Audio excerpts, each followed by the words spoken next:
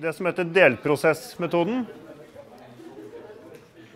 Der vi altså deler opp endringen som skjer med, i reaktoren, i ulike delprosesser. Jeg har forsøkt å illustrere det i en graf her. Det er en graf der jeg har plotta temperatur på første aksen og entalpi på andre aksen. Så har vi startpunktet vårt her, der vi har innstrømmene i reaktoren. Total entalpi for de to innstrømmene, det er H inn. Så tenker vi oss at vi kjøler ned den strømmen til en referansetemperatur, TRF. Når jeg kjøler ned, så faller temperaturen, så beveger oss den veien i temperaturaksen. Og så faller også entalpien når vi kjøler ned, ikke sant? Så kjører jeg reaksjonen ved den lave temperaturen. Så da får vi eh, et ytterligere entalpifall i den, det tilfellet her, for det er en eksoterm reaksjon. Det kjører ved reaksjonen ved konstant temperatur, referansetemperaturen. Og så til slutt så varmer jeg opp reaksjonsproduktene til eh, de når eh, reaksjonstemperaturen, temperaturen ut av reaktoren. I vårt tilfelle 270 grader. Til ut her. Og det vil i praksis si at jeg øker temperaturen til jeg når samme entalpi som jeg hadde i starttilstanden. For det, ettersom det her var en adiabatisk reaktor og ikke noe arbeid skjer, så er entalpien inn nødt til å være lik entalpien ut. Så samme nivå her, H1 ja, H inn bør det stå. Lik H ut.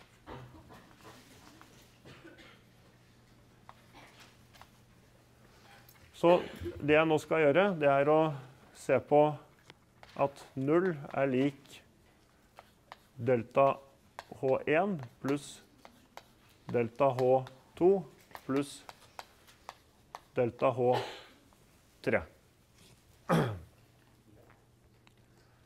Eh, man kan vise at hvis man går fra dannelsesentalpier og så setter opp uttrykkene for H ut og H inn, sånn som vi gjorde nå i forrige time, så kan man omorganisere og få at dette her er lik H ut minus H inn. Og de uttrykkene jeg har her for disse delprosessene, kjøling, reaksjon ved lav temperatur, oppvarming, det kan vi plukke ut ifra disse uttrykkene her ved å omorganisere dem.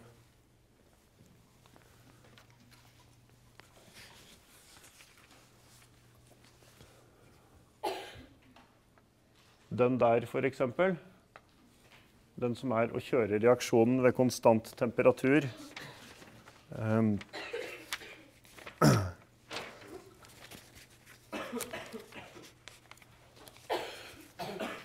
Um, den kan uttrykkes ved dannelsesentalpiene for, eh, for de stoffene vi har. Um, så kanskje jeg skal ta det ta det beviset for dere. Um,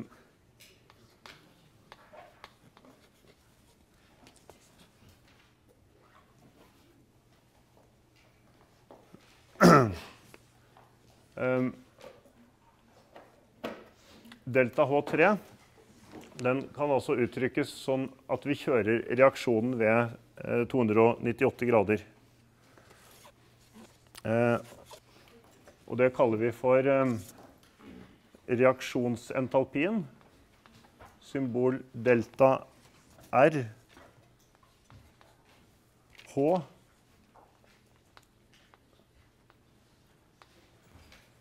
ved, ved 298.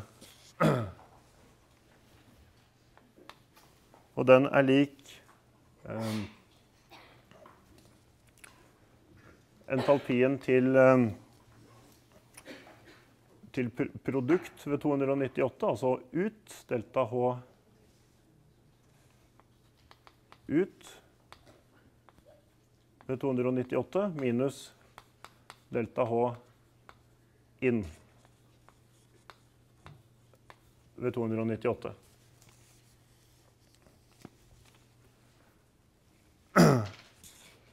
eh, den der, delta H ut ved 298, kan vi uttrykke som summen av de komponentene vi har i utstrømmen ganget med den molare entalpien i, i utstrømmen.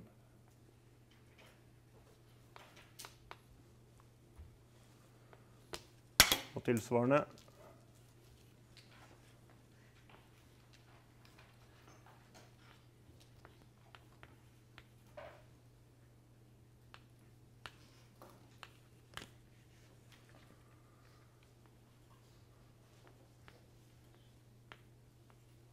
masseindekser her.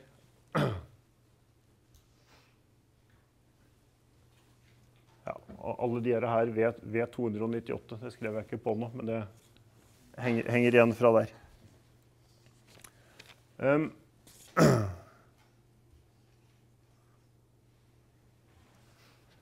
hvis vi ser på dere her for hver av eh, de komponentene vi har, altså hvert stoff så er jo um, entalpien til hvert av stoffene den er jo lik i ut- og innstrømmen. Altså molarentalpien til karbondioksid er den samme i ut- og innstrømmen ikke sant? når vi har samme temperatur.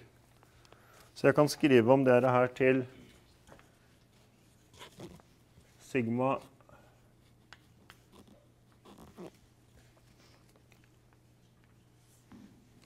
HI. Altså der har den molare entalpien til hvert stoff ved den aktuelle temperaturen, da, 298, ganget med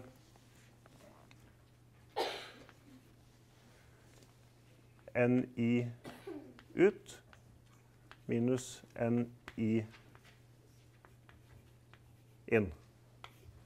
Så antall mol ut, antall mol inn, differansen mellom de, ganget med entalpien til hvert stoff.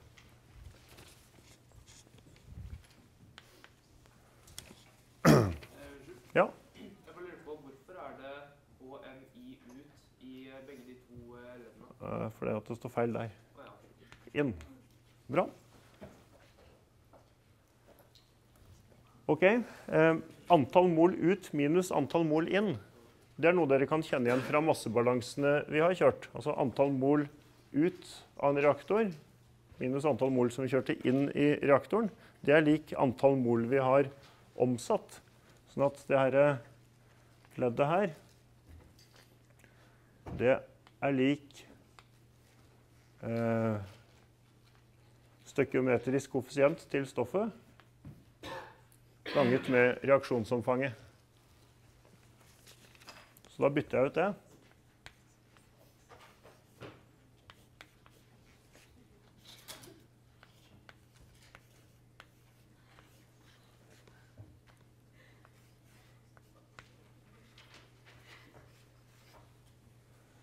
Så da ser vi det at den entalpien som tilsvarer å kjøre reaksjonen ved 298, det er lik eh, dannelsesentalpiene ved 298 for hvert stoff, ganget med hvor mye som omsettes av stoffet. Og hvis det da eh, er en reaktant vi snakker om, så husker dere det at den støkiometriske koeffisienten var negativ. Men hvis det er noe som dannes, så er den positiv. Sånn at det blir ulike bidrag avhengig av om vi forbruker noe av et stoff, eller om vi danner noe av et stoff. Så eh, den ligningen som vi da har fått opp, at reaksjonsentalpien ved 298 den er lik summen av entalpien til dannelsesentalpien Jeg burde skrive det sånn delta HF til hvert stoff ganget med støkiometrisk koeffisient ganget med reaksjonsomfanget. Det er en, en, en nyttig ligning som vi bruker i den delprosessmetoden. Det har vært litt slurvete med notasjonen min igjen. Alle de Skal vi se. Alle de her burde vært dannelsesentalpier, delta HF.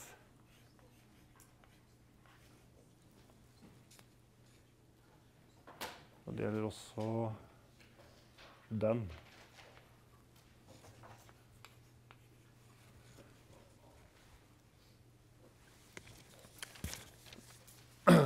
Mens eh, de to andre leddene her, altså kjøling og oppvarmingsleddet, de er eh, eh som vanlig. De inneholder bare varmekapasitetsbitene. Da skal vi prøve å kjøre oppgaven etter, eh, etter delprosessmetoden.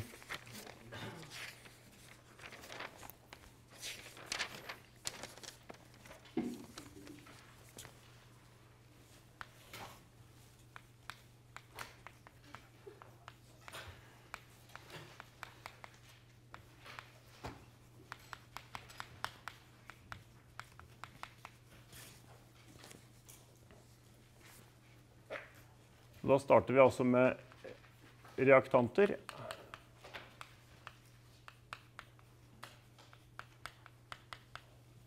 Som har T-in som temperatur.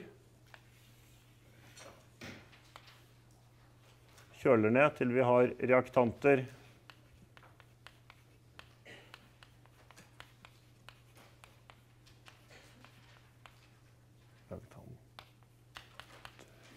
ved TRF.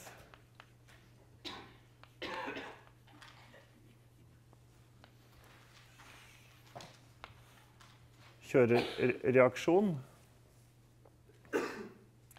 Så da får vi produkter her.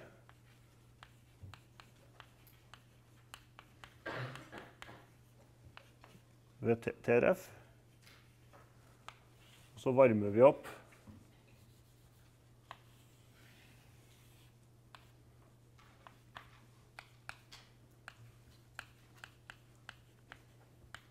vi har produkt ved T, T ut. Da har vi delta H1, delta H2, delta H3. Så det er kjøle, reagere,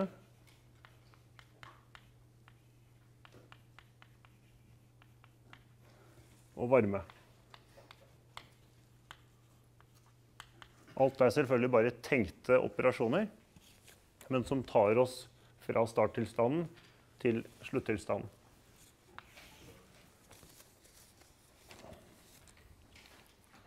Mm? Er det alltid tilfelle at vi kjøler og ikke varmer først? Nei da. Du kan gjøre akkurat som du vil.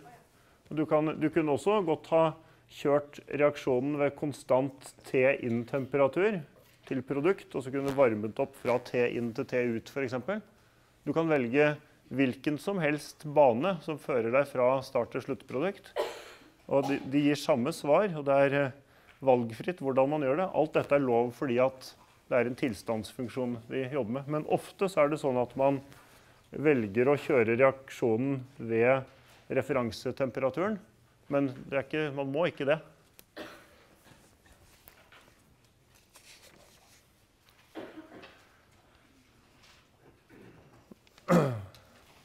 Ja, så trinnene her, altså delta H1, det var at vi kjøler ned de to strømmene, da. Vi kan dele de A og B. A det er at strøm 1 den kjøles fra 170, eller altså fra 443 kelvin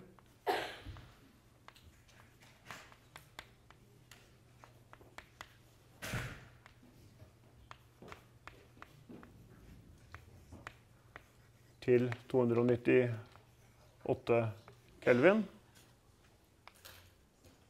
B det er at strøm 2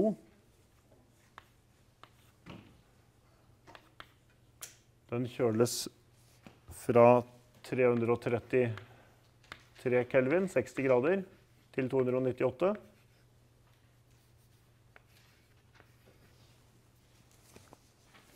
Det var delta H1. Så har vi delta H2, som er at reaksjonen skjer ved 298.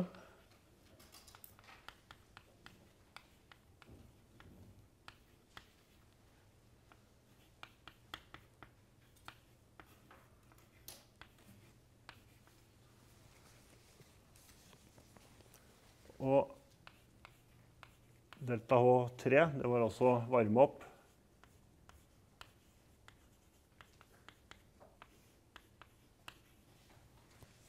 produktene fra, fra 298.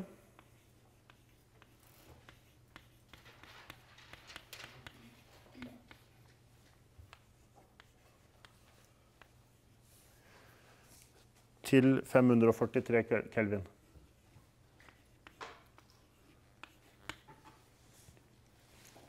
Der har vi de tre trinnene vi skal regne på entalpiendring for.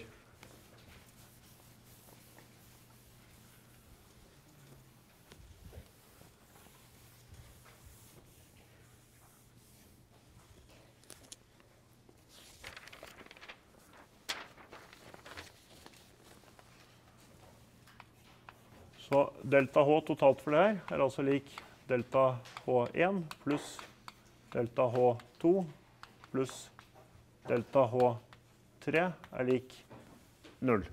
0 fordi vi har samme entalpi i start- og sluttilstand. Og da setter jeg opp uttrykkene for hver av dem. Den eneren må vi jo dele i to, da. En A og en B, siden det var to forskjellige strømmer som skulle kjøles der. Kaller dem for delta H1A, den første. Og da er det en kjøling, sånn at det er da antall mol i strøm 1 ganget med molare varmekapasiteten i strøm 1 ganget med den temperaturdifferansen 298 minus T1. Setter vi inn tall, så strøm 1 det var også 100 ganget med 1 minus F. Der har vi den ukjente vår igjen, ikke sant? Ganget med 30,2. Den tar jeg fra forrige oppgave. Den regnet vi ut den gjennomsnittlige varmekapasiteten i strøm 1 i forrige oppgave. Ganget med 298 minus 443. Vær nøye når dere ser på disse temperatursprangene. Det er starttilstand, det er sluttilstand. Vi alltid går til sluttilstand minus starttilstand. Nå kjøler vi ned, ikke sant? Og kontrollen er at det her skal jo bli et negativt tall. Vi skal redusere entalpien når vi kjøler ned, kjøler ned. Det her det er lik minus 1 minus F ganget med 437,9. Ok, Da kommer vi ikke videre med den. Da tar vi neste. Delta H1B. Det er helt tilsvarende. N2 ganget med CP molar i strøm 2. 298 minus T2. Og det var N1. Den var 100 ganget med F. CP var stadig 30,2. 298 minus 333.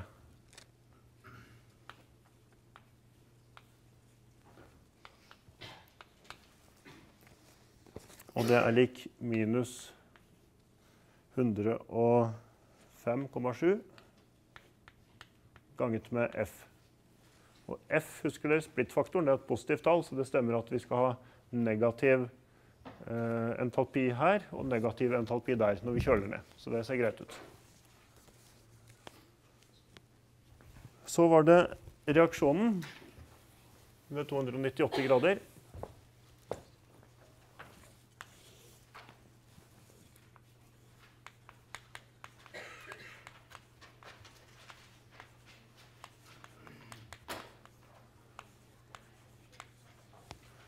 Da bruker vi altså det uttrykket for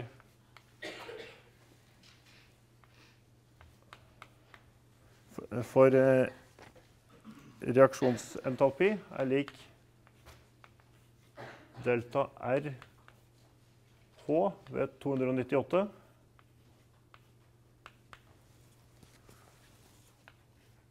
Og det var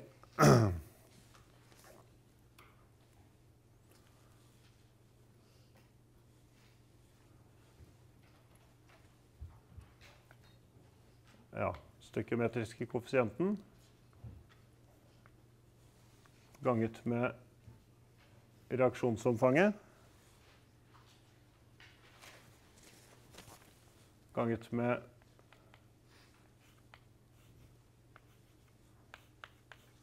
dannelsesentalpien, molar dannelsesentalpi, til hver av komponentene våre. I det systemet vi ser på nå, metanolbalansen, så er ikke det helt trivielt. For det, vi har faktisk to uavhengige reaksjoner. Det har vi ikke sett noe på tidligere, men vi trenger å se på det nå. To uavhengige reaksjoner.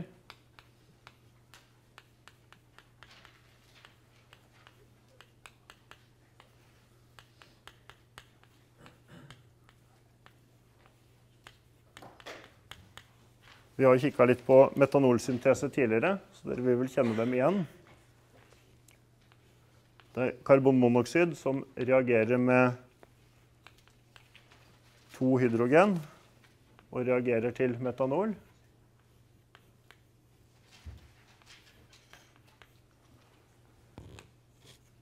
Og så er det karbondioksid som reagerer med tre hydrogen og blir til metanol.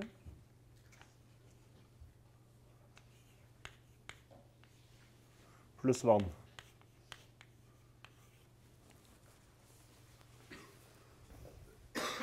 Det betyr at i den ligningen der så er det to ulike reaksjonsomfang.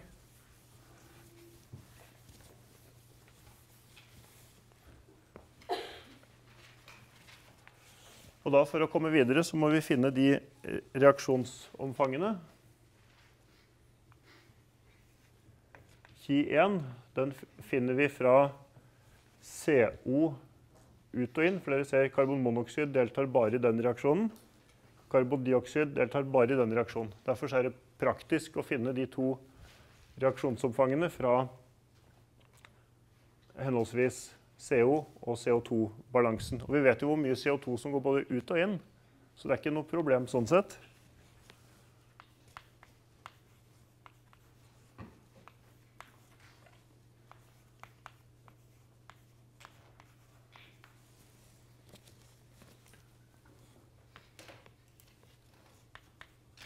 Så det reaksjonsomfanget det er altså antall mol CO som går ut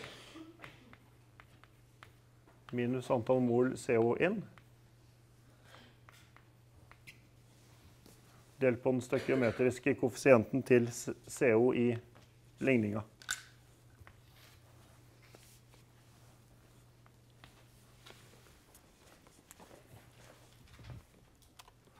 Og da må vi bare inn her og se hvor mye det er. Karbonmonoksid ut, det er 0,9. Inn er 3,8. Så 0,9 minus 3,8 CO forbrukes. Den støkiometriske koeffisienten er minus 1 siden det er en reaktant, og det står 1 der i reaksjonsligningen. Så det er lik 2,9 mol. Ja, mol per sekund, strengt tatt.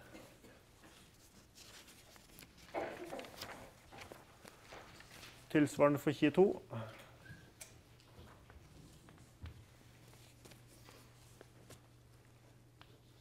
Da bruker vi altså CO2-balansen, siden CO2 bare deltar i den ligningen.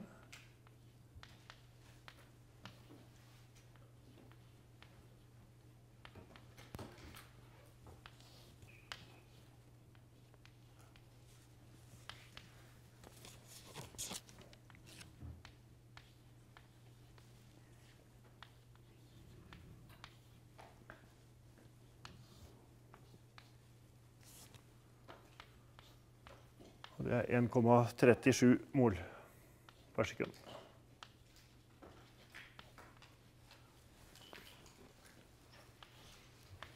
Da har vi de to. Og da kan vi regne ut eh, reaksjonsvarmen.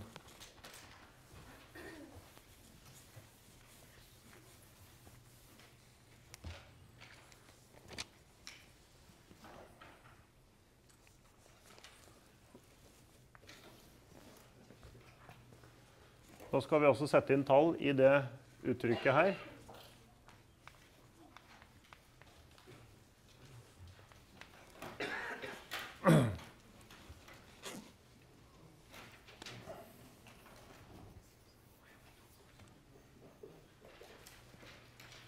Så det er støkiometrisk koeffisient ganget med reaksjonsomfang ganget med dannelsesentalpier. Jeg tar og setter um, reaksjonsomfanget utenfor. For det er jo det samme for alle stoffene som inngår i reaksjonen, ikke sant? Og så tar vi støkiometrisk koeffisient for CO. Det var minus 1 ganget med dannelsesentalpien til CO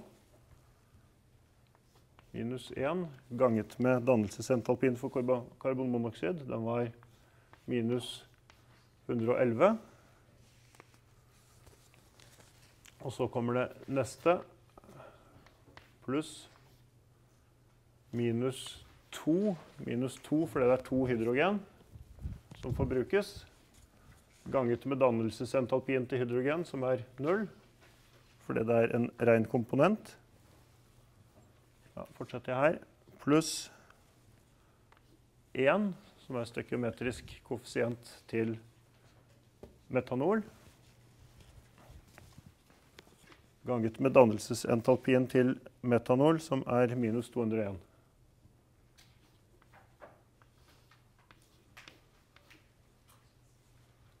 Så må vi ha en stor parentes til slutt. Da var vi ferdig med den første reaksjonsomfanget.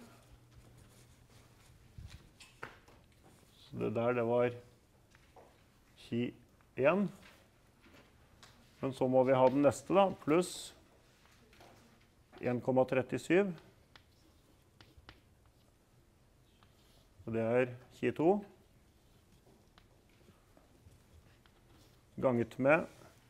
Og så kommer vi til reaksjon 2 minus 1 ganget med dannelsesentalpien til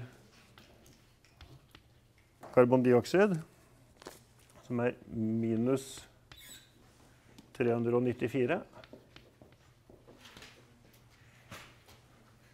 Minus 3 ganget med 0, det var hydrogen. Dannelsesentalpi 0. 3 var minus 3 stykker metrisk koeffisient. Pluss 1 stekiometrisk koeffisient til metanol ganget med minus 242. Nei, unnskyld, minus 201. Og så pluss vi har med vann nå her, pluss 1 vann hva er det som ble dannet, pluss 1 ganget med dannelsesentalpien til vann, som er minus 242. Masse tall, men ingen ukjente, ser dere. Her hadde vi kontroll på alle størrelsene. Vi visste hvor mye som reagerte. Vi visste alle dannelsesentalpier. Så ut fra det her så kommer det en konstant. Delta H2 er lik minus 328,1.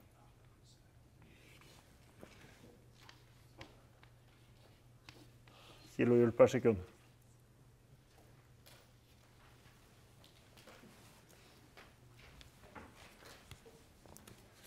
Da har vi to av de eh, delprosessene vi trang. Nå skal vi bare varme opp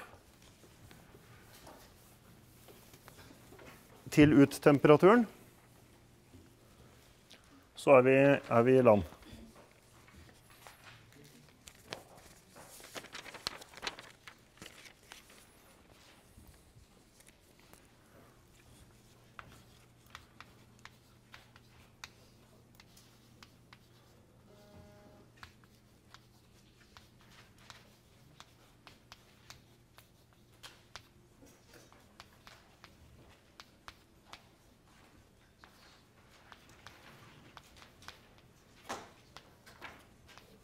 Så delta H3. Og da er det samme ligning som for H1. Det er størrelsen på strømmen, N3, ganget med varmekapasiteten til strøm 3. Molar varmekapasitet. Ganget med temperaturdifferansen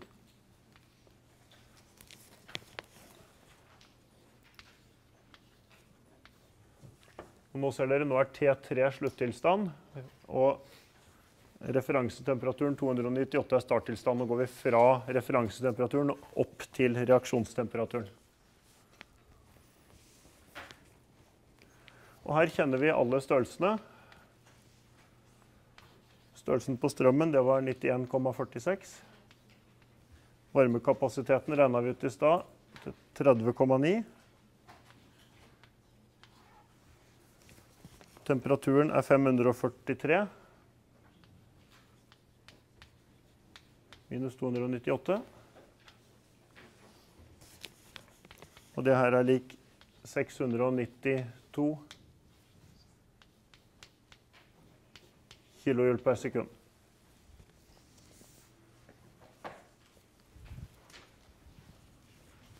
Da kan vi sette inn de tre delprosessene vi har i, i energibalansen. Delta H1 pluss delta H2 pluss delta H3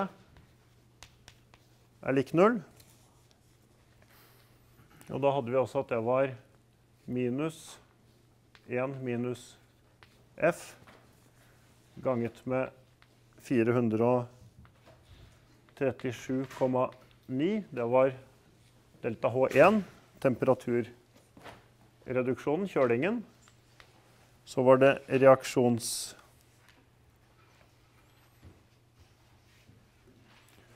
Reaksjonsvarmen. Som vi regna ut her, minus 328,1.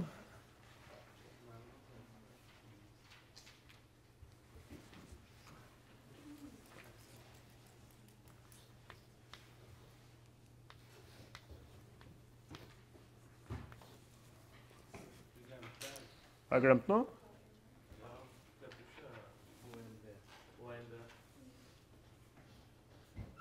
Jeg har glemt 1B, ja. Beklager. Skal vi se. Den var minus 100, og det var riktig. Det var den som var minus 105,7 F. Den glemte jeg. Bra, takk. Minus da har vi reaksjonsvarmen 328,1. Og så pluss oppvarmingen 692,4. Ja, 692 skrev jeg her. Vel. Skal altså være lik null. Og da har vi bare F som ukjent. Og løser man det der, så får vi ikke så veldig overraskende f lik 0,22. Samme som i stad, selvfølgelig. Eh, så da har dere sett hovedprinsippet i de to løsningsmetodene. Enten beregne direkte fra dannelsesentalpiene strøm inn og strøm ut. Sette inn er like ut. Finne den ukjente, i denne tilfellet en splittfaktor. Kunne ha vært en temperatur som var ukjent. Kunne ha vært en massestrøm som var ukjent. Men i hvert fall vi har en ligning som gjør at vi kan regne ut noe. Eller vi deler opp i T3 eller flere eller færre tenkte delprosesser kjøling, varming, reaksjon. Kan være hva som helst, men tenkte delprosesser. Og så regner vi ut for hver av dem. Og summen av dem skal stadig være lik null. Begge gir samme løsning fordi entalpi er en tilstandsfunksjon, så vi kan fritt velge hvordan vi regner oss fra start til sluttilstand. Så begge de to metodene er det viktig at dere behersker, og det er viktig at dere skjønner forskjellen på dem og nær sagt skjønner prinsippene for dem. Vi skal drille det en god del i øvinger og i prosjektet fremover. Men det er en ganske sentral bit i det faget her. Spørsmål på tampen av timen? Blir det morsommere enn dere her, så vet dere ikke hva dere skal gjøre. Ja, sånn er det. Det er en del tall og en del ball med den entalpiregningen, men eh, det er en del av det vi er nødt til å skjønne og beherske. Fint, da avslutter vi der.